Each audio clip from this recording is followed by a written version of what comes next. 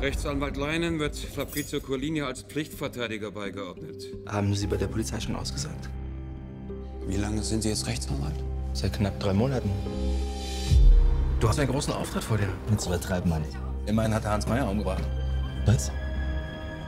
Mattinger, ich pflege mich ganz gerne nach der Gegenseite zu erkundigen. Ich bin in dieser Familie groß geworden. Hans Meyer war sowas wie ein Vater für mich. Ich verteidige den Mörder von Hans. Du bist doch einer von uns. Du kannst so jemanden nicht verteidigen. Ich habe die Pflichtverteidigung angenommen. So einfach komme ich da nicht mehr raus. Ich würde Ihnen gerne ein Angebot machen. Bringen Sie Colini dazu, dass er gesteht. Herr Colini, warum sagen Sie mir nicht einfach, was passiert ist? Wussten Sie überhaupt, wer er war? Ich weiß,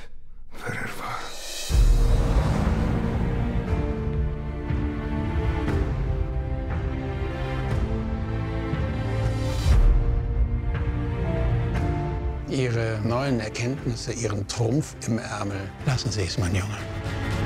Sie haben Angst, dass ich die Rolle nicht einnehme, die Sie für mich vorgesehen haben. Ich bringe das morgen vor Gericht. Tu es nicht. Wollen Sie gleich in Ihrem ersten Prozess alle Regeln außer Kraft setzen? Hat er dir geraten, wieder was mit mir anzufangen?